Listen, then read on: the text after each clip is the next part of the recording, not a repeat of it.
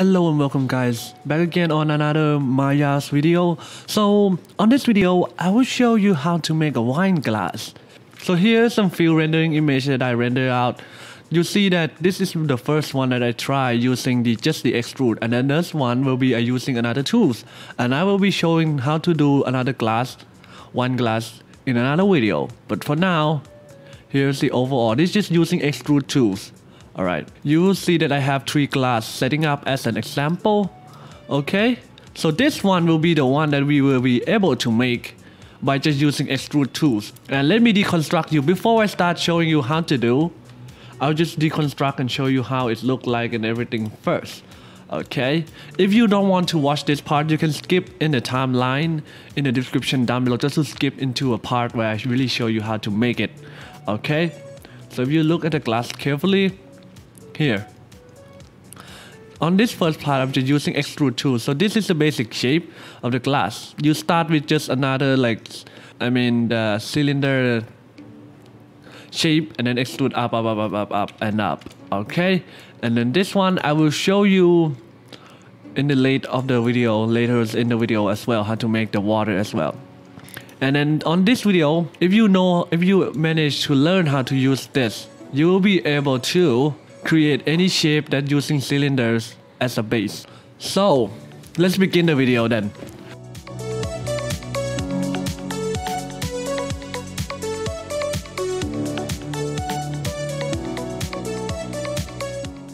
Okay, so in this video as I already said, I will make a wine glass using just extrude tools. Before we start, we'll need to go into Google, find any image, the side view image of a wine glass. In this case, I already have it, so here is the pictures of it.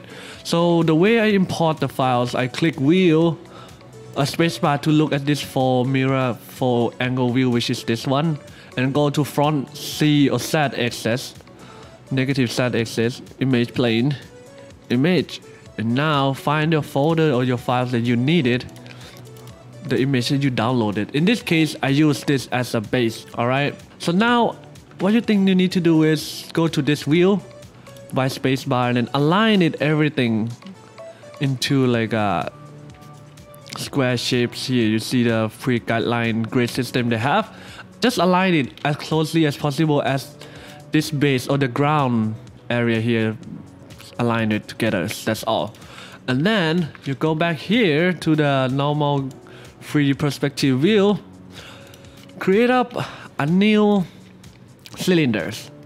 But then when you click it, it's just gonna pop up here, which is not what we wanted. You can go to create um, polygon primitive and then use this interactive creation. Okay, I will try to go, go as low as possible. You just click that now when you click to create the cylinders, you have this icon here which it will ask you like you can actually manually adjust the sign and how tall you want it to be by click and then drag. And now you can drag up to set the height. So now I'm just approximate the height. Maybe this height this tall should be fine. I think that should be fine for now. Okay. And now next thing you need to do is go to this wheel again front wheel of this shape trying to align it closely as possible. You can see that should be fine for now. Cause like we have reference doesn't mean we need to have like 100% look the same as the reference. But we have like the ideas and the core idea what it might look like. Okay. And now I will need to change the subdivision and then if you have any questions or if you don't understand it, you can just comment down below and ask. Or you can just click on the icon on the top right corners to go and watch my previous two video where I start play around and then show you the basic tools that you will be found useful as uh, beginners trying to learn how to use Maya. Okay. So now in the subdivision, I need to change something here. So subdivision axis, you need to turn down it uh, not that much, not this much. First it will be in 20s. For me, it, it is unnecessary to turn down, but I feel like you don't really need it to be that full round circles. So you can just use smoothing tools and then add more at the end. So I will make it like around 17. Because the less polygon you have at the beginning, the better when you're creating a shape, like the, the polygon line division and the age Cause it create less issue at the, at the long run. And now I need to change the top cap area here. You see this area here? Just turn down into like zero. You don't need any faces in here. Just let it like, you don't really need anything in here. So just let it zeros. And then the subdivision between height, you let it be one, which is between this line and this line. Okay. So now there's multiple ways to do it. You can just now, you can just click here and then extrude up, up, up, up, up, and up, and up. But for us, I'll just delete this face here for now. To show it easier and clearer to understand how it might look like. So now you just click on the edge, turn into right click, edge of it. Okay, now switch view to this wheel. Full screen. Just select on the edge. So now this thing turned orange. You see? Okay you just extrude it. Keep extruding according to the line of the shape here to, to the top. And then I will show you afterward what you need to do to make inside hollow and look nice. Okay. So if you ask me why is the extrude tool, it's this one. So before I'm, I'm just gonna click extrude like normally and then just go up like so. So you see that this shape uh, the big pictures reference that I have is not fully side view. If you have a fully side view image, that will be better. But in this in this case, we don't have that. So I'll just estimate it. You can now you need to switch between two tools, between the scale tools and then the extrude tools. That's all you need to switch between both. So I will just make it this view so you easier to see how it look like from the top down view and then I will just do this from the side, okay? So when you press G, G means repeating the last command that you use or last tool that you use. In this case, it is extrude. So now it's gonna extrude now. And if you have this problem, now you see that, oh no, what's happened now? Why is the shape look like this? is not what we wanted. You, the thing you need to do is Command C or Control, I mean Control Z or Command Z C for Mac user click on this I, some circly power icon or something like that, it will now change the axis to the normal centerized axis. Now you just move up. Okay. And now I go to scale tools, which is R. Remember Q, W, E, and R. To just start scaling down little by little. And G, do the same thing over and over again. So if you ask me how many like edges for each area, like spacing between edges, you need, it depends on how curved you want the shape to be. So if you want it to be really, really, really, really curved, like sudden curve, you need more edges on that area. Or you just want it to be like really straight, just little, little by little, but most of the time just make approximately at the same like length between all of it.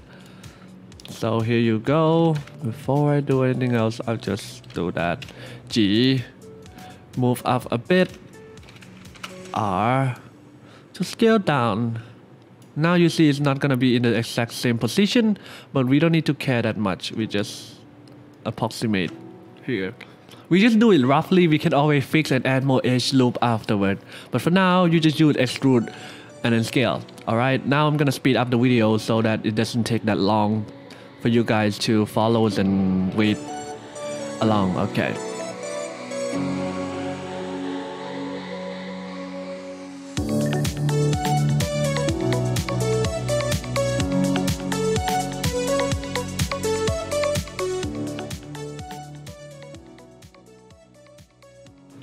Okay. Okay, now, so now we have an overall shape of the glass itself. Oops. So you see that it's not quite smooth as it need to be, which is not a big deal. All right, let's move this back a bit so you can see. Overall, it's kind of all right.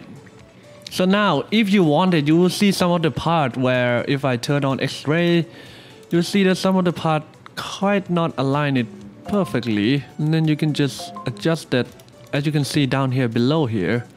It's not fully look like a glass if you make this, this part here.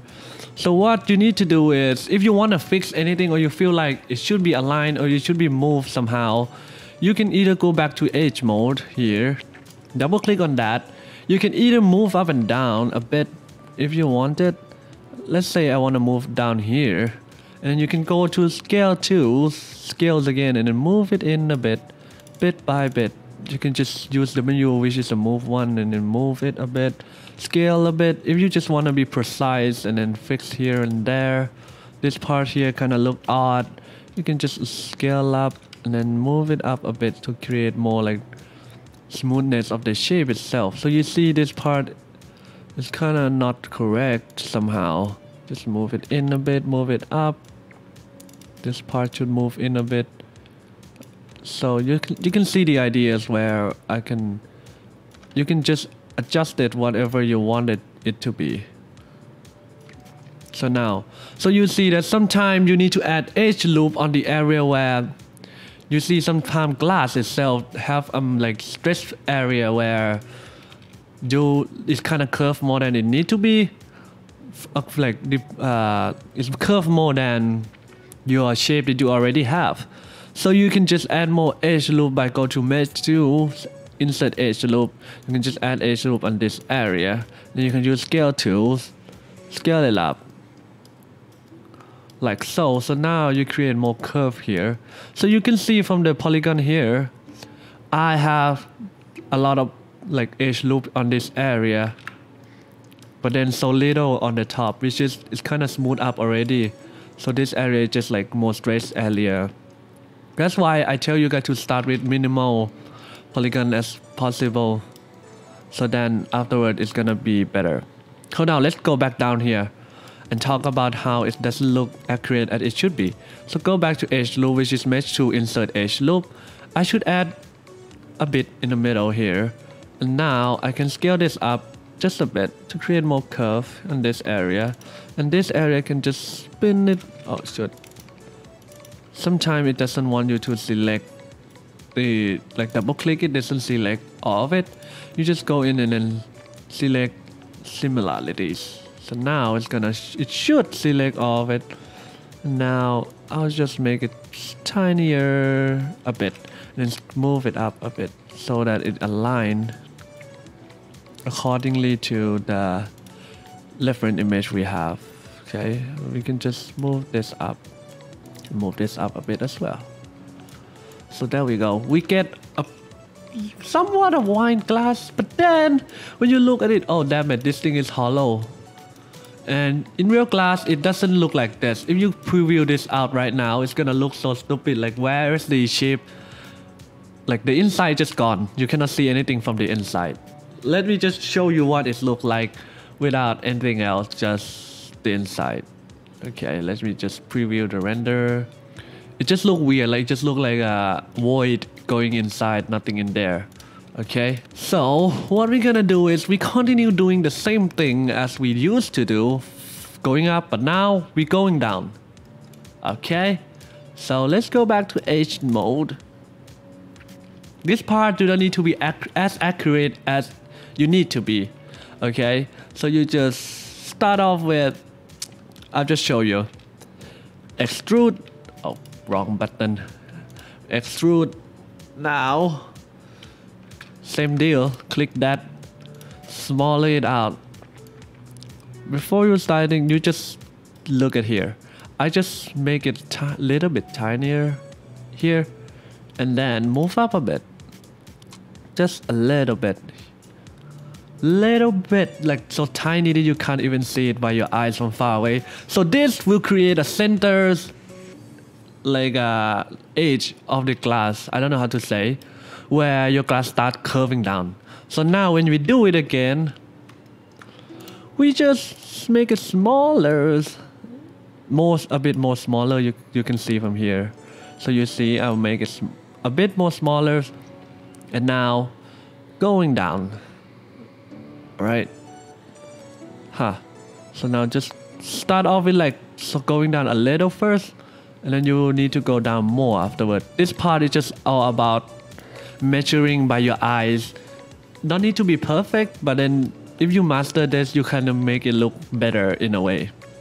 For now we just do it real quick and then make it like approximately what you wanted it to be. So now you just go down down down down down inside here you don't need to be accurate. So as I said you can go down this far. From here really far down. And then you can just scale it a bit like that. Align it approximately the same area. Amount of it should be the same. And do that again. Go down down down down. I'm just using grid this grid as a measuring point here. There. So the more accurate inside you will have the more better it will become. But then at the same time no one gonna look inside your glass that often so.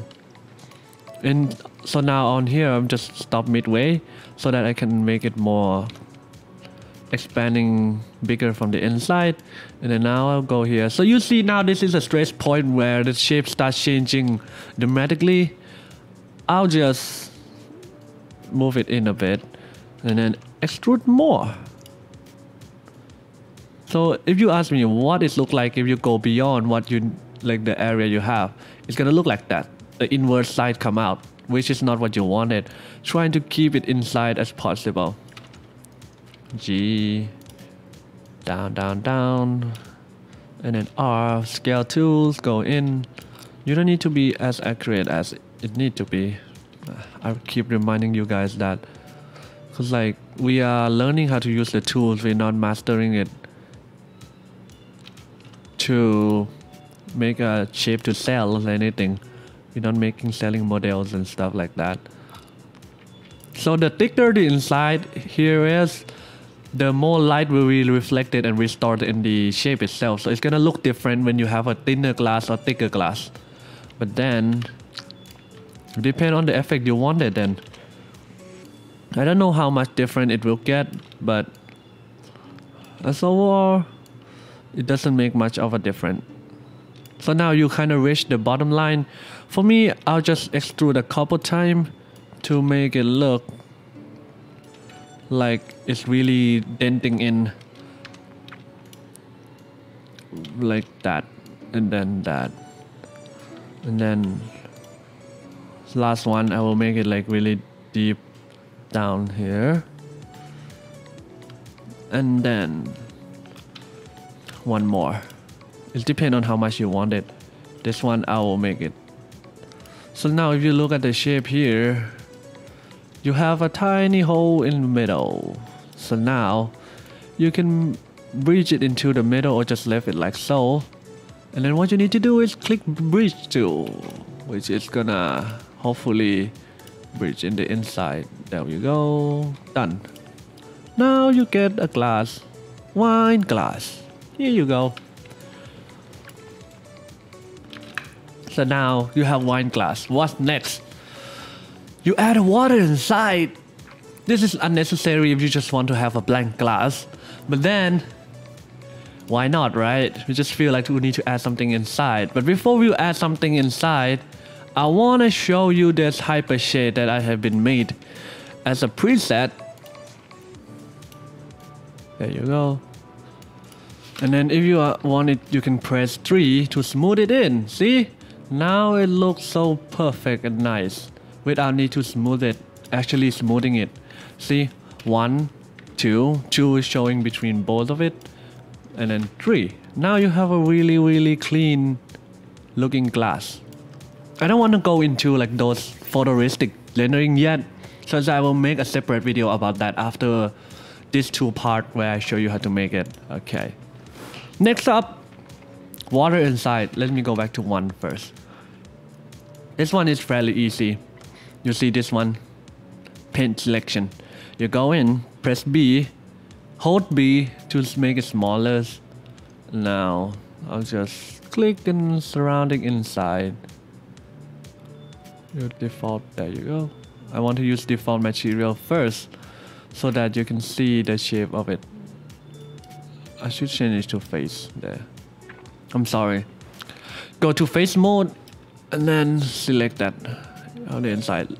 Now it depends on how much water you have, you want the wine to have. For me, the normal is like look kind of nice. It's kind of like mm, one third of the cup or the glass in this case, which is this much.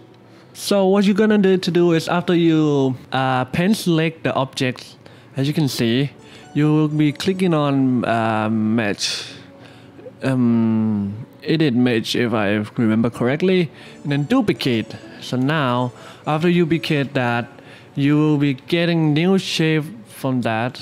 You need to deselect everything out first. So now you need to deselect everything by clicking outside. You don't select anything back to object mode and everything. Now if you click the inside, just the inside, you can just drag it up and drag it out. Now you see that you have this water, I mean the shape, inside shape of the cup itself. What you need to do next is, you can see here, reverse it so that you will not get the inside black part here anymore. Reverse that, just click reverse, nothing so special about it.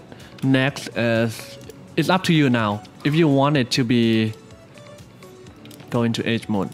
Realistic, abstract, or what kind of water you want it to be. For me, you can see that I add a, like a, like a tornadoes effect inside but you don't really need to do that if your water is just being still. So my technique is that either bridge it in, extrude it in, and then bridge it like so by scaling tools. Just like that. And then just just do a couple more time inward like a flat normal waters. I will just show you the normal way. So you just move it in like that. And now you can just use add a bit of like rotation of the waters a bit. Just a little bit not too much. If it's too much you're gonna look fake. Scaling in that's like that. I'm not a professional in like physics or like waters physics. So it's just like a matters of like guessing and try and error you can you can try without changing this you can even try to do this to create a weird looking waters effects. You see, now it look like a waters and then can move a bit up, extrude more, one more time. Now we need to centerize it. There you go. But then this time make it centers. Just do it totally in opposite way of it. There you go. And then one more. I'll just leave it like that narrow down a bit. So same deal, close it up. Just make it a little bit smaller. And then double click that again, bridge it in. There you go. You have somewhat a waters. Okay, so now you just put it back in same place. You see that the when you select that, that this thing kind of be in the wrong position, you can go into uh, modified center pivot point and then just drag it down to the right place it's supposed to be. Approximately though, not fully perfect. So you can use this side wheel thing to actually make it precise as possible. There you go. Now in shaders, oh wrong one show the materials. Now it still look like both of it are glass. Now we need to create another hypershade, which is the waters. I don't want to go into like those photorealistic thing again. I'll just use another Blinn and then you press 3 and 3 and smooth it out. So now it doesn't look like much from here. If you use the normal Maya uh, color and type of shade, it's just a way to like show you what it might look like doesn't mean that it's gonna look like that for real. That's why I'm just, it doesn't look as realistic as it should be. It's just like a way to Maya to show you what it might look like. Okay, so after you have the overall shape you needed, here is the wine glass. It's done. Yes, it doesn't look as impressive. So I will show you how to use the hypershade afterward, after this two-part video, where I will show you photorealistic blending using Arnold. But then I'll just give you a like tiny glimpse of what it might create. You see, everything changed. Photorealistic shaders. And then I'll just go with glass. There you go. Same deal. Group that's in. So how do you group it? Select the last, the inside one first and then shift, click another one, press P. So now, whatever you select, P is, you need to select the bigger object afterwards so that it's gonna be a part as one. So now it's one of the itself. You go to Arnold render. You can't see anything. Just kidding. you need to add a light, which is I already have a preset light here. And then the ground, background. Come on, do something. Wow, that's not red at all. the weird thing about this is that I'll just open it like that so you can see. The water inside is not red because the way I set up the the reflection colors and everything is different. So I'll just use this one. This one is the better looking water one. See the color perspective in the system and in the rendering is different. I don't want to go full in detail what it is, but then if you know how to use Arnold, you just add assign Arnold and then you have a preset of it. That's all. Okay, here you go. Now we have a wine glass. See, the reflection here doesn't look realistic that at all. But then what do you expect from the way I set up light is not normal, that's all. There you go, you have a photorealistic glass of wine. Okay, so I hope you enjoy and learn something about this in this video.